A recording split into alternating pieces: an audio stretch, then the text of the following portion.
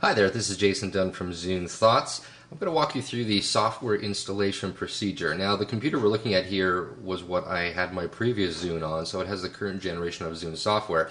I'm curious what the install experience is going to be like for uh, an existing user, whether or not it will uninstall the old software, etc. So, um, Microsoft gave me a DVD, so I'm actually going to, uh, or rather a CD, I'm going to run the software off the CD. Normally, of course, you would just go to the Zune website, and from there you would actually download the installer. So this is the installer here. I'll just zoom in a little bit.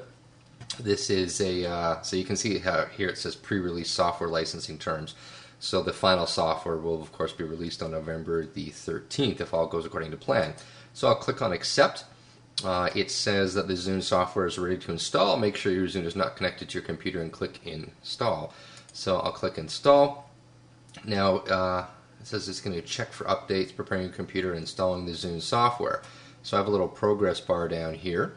Uh, and it says it's installing the software. Now, it hasn't prompted me to uninstall the old software, so that may mean that the two pieces of software can coexist side by side. That would be a little bit strange, of course. So what may be happening is that it's just going to simply uh, replace the old software on my computer without prompting me, which is actually probably the best user experience because, of course, you don't uh, you don't want to always tell users that they have to uninstall software. That can be a little bit confusing and daunting for some people.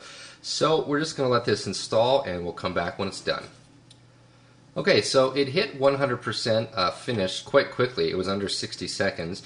Uh, the computer I'm installing this on is an AMD Athlon 5000 plus 2 gigs of RAM, so it's a, it's a decent computer, but not anything uh, earth shattering. But there is, however, uh, a Windows security prompt, so we will click install. So I'm not sure if, insta- if that's an actual installation or maybe just some sort of a decompression routine for the software, so that might be a little bit misleading. Um, and at the moment, I'm just sort of sitting here waiting for the computer to tell me what it's doing, because uh, of course it says it's 100%. But um, ah, so actually, if we look up in the top left-hand corner here, we can see that there's a, uh, a Zune icon. My camera's having a hard time focusing on that, but there's a Zune icon, so that that part seems to be ready to go. And the software still says it is at 100%. Kind of a pet peeve of mine. I don't like it when software isn't accurate about what it's doing. You know, so uh, a casual user may actually want to click cancel here because it's not sure what to do. Okay, now that's interesting. It's now gone down to three. so if you saw that, it went from three percent to two percent to back to 100 percent, back to two percent, and now it's actually finished. That's kind of bizarre. Uh, hopefully, Microsoft can uh, polish that up. But we will now click uh, launch and we will see what happens here. I'll go a little bit wider so we can see more of the screen. So I clicked launch and I'm just kind of waiting for something to happen here. I can hear the hard drive grinding away, so this may be some sort of an initial load.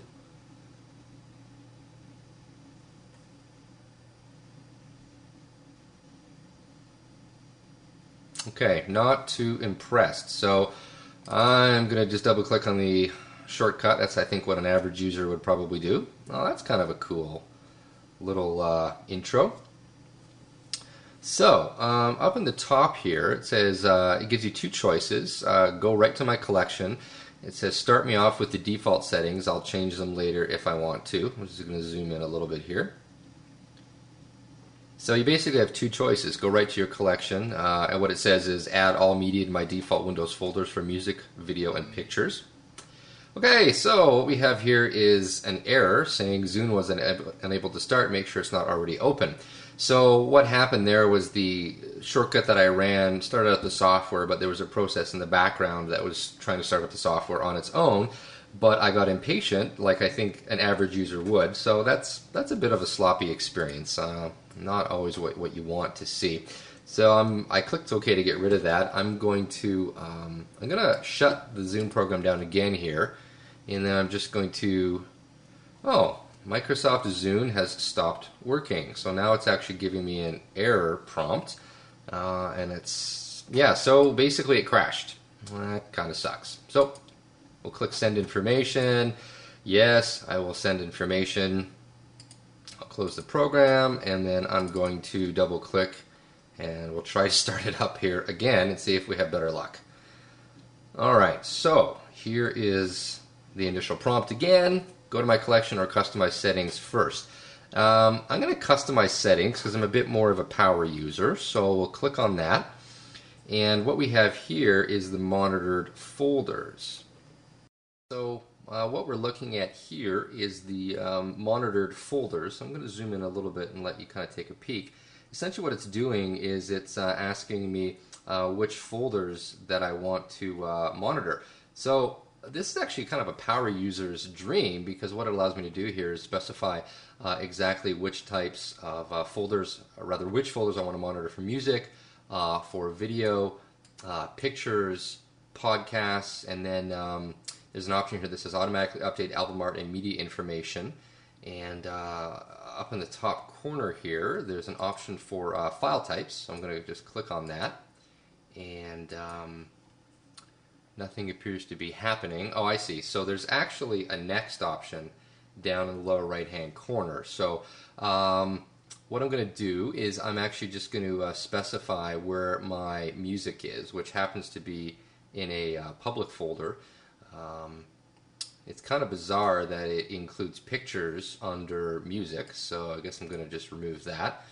And then under pictures, um, I'm going to remove all the places where my pictures are not, which includes all the music folders. And um, podcasts, so it's kind of bizarre. It, it basically adds in a huge variety of um, lo- locations. Um, so I guess I'm just going to kind of leave the uh, maybe the default here. Uh, looks like the default folder location for podcasts is um, the username slash music slash Zune slash podcast. So basically the Zune folder inside the music folder and then podcasts underneath that. And as far as uh, videos go, Again, I have to remove pictures and music. I'm not too sure why that is.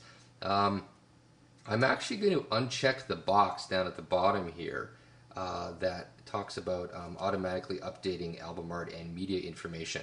The reason why I'm going to uncheck that is that I have my album art embedded in my metadata is very carefully arranged, so I actually don't really want the Zune software to uh, mess around with that.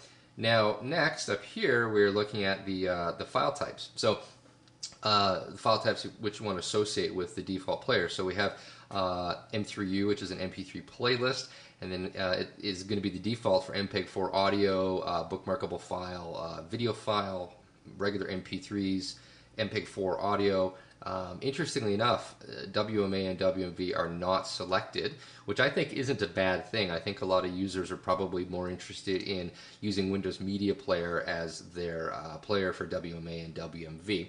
So I'm just going to click on next. And then this is a uh, customer experience program where it's essentially just asking me if I want to allow Microsoft to uh, collect anonymous information. So I'm going to click finish and then I'm